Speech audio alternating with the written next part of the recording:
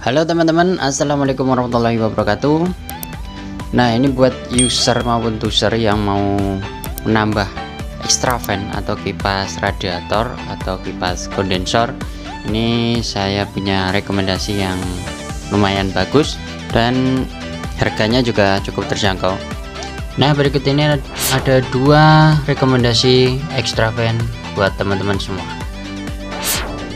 Oke langsung ke extra fan yang pertama extra fan kali ini itu extra fan Tokuden untuk ukurannya ini 12 in kemudian voltasenya ada yang 12 volt dan juga ada yang 24 volt tergantung pemakaian.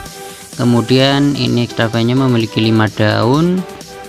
Ini arah anginnya hisap jadi diletakkan di belakang kondensor atau belakang radiator extra fan ini bisa untuk anu kipas tambahan pada mobil ataupun elf. Elf ini juga bagus karena daya hisapnya juga kuat. Kemudian harga untuk harga ini mungkin sekitar 850 sampai 1,3 ya. Itu tergantung mereknya. Bisa yang ori atau yang KW kalau yang ori kalau nggak tidak salah itu buatan Thailand.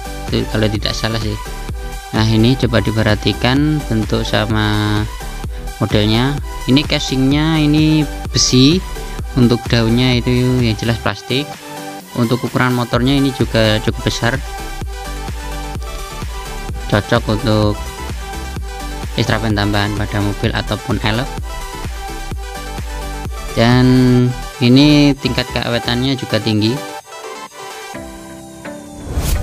Oke langsung ke extravan yang kedua. Nah extravan yang kedua ini sama-sama mempunyai lima daun. Cuma untuk yang ini ini biasanya disebut thermoking ini juga ada yang 12 volt ada yang 24 volt. Ukurannya juga 12 inch kemudian jenis daunnya ini agak berbeda. Ini ada daunnya agak kayak sabit gitu ya. Kemudian ini arah anginnya juga hisap. Ini juga cocok untuk eh, AC mobil ataupun AC LF untuk pendinginan kondensernya maksud saya.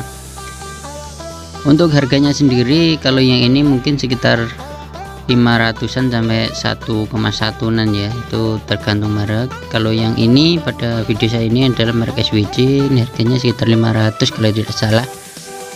Ini sama motornya juga besar.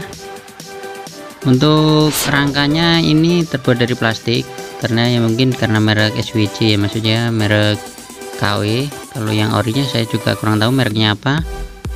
Tapi ini juga bagus karena tingkat hisapannya membuang anginnya itu kenceng. Itu tadi sedikit informasi dari saya. Terima kasih sudah menonton ya. Jangan lupa untuk subscribe bagi yang belum.